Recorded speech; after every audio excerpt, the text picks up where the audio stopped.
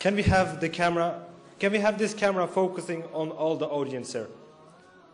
Can we have this camera focusing on all the audience? Because every now and then, every time we have a conference, every time we invite a speaker, they always can come with the same accusations.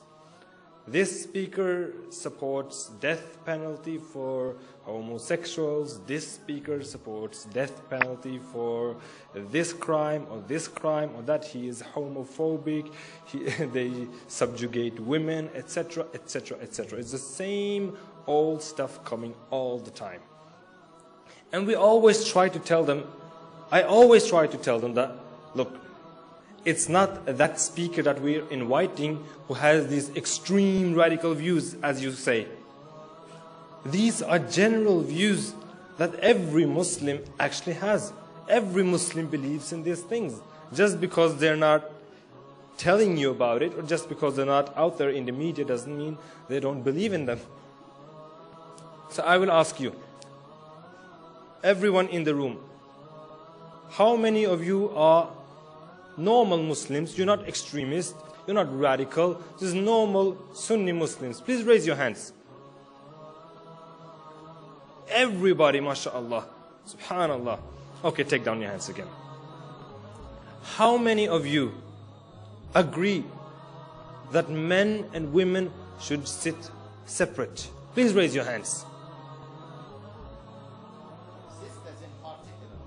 Everyone agree. Everyone agree. Brothers and sisters.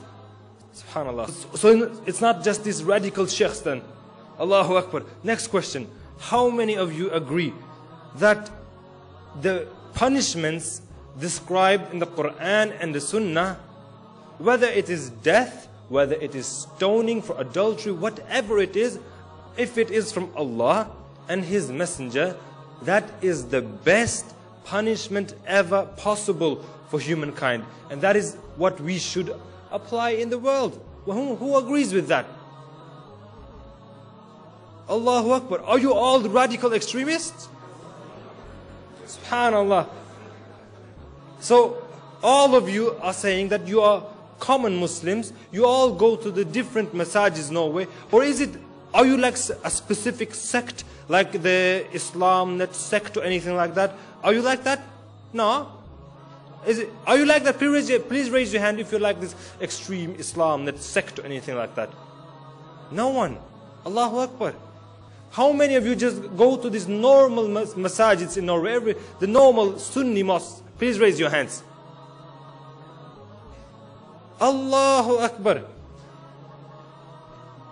So what's, what's the politicians gonna say now? What's the media gonna say now? That we're all extremists? We're all radicals. We need to deport all of us from this country. Subhanallah. Allahu Akbar. Takbir. Takbir. Takbir. May we have the next, the next.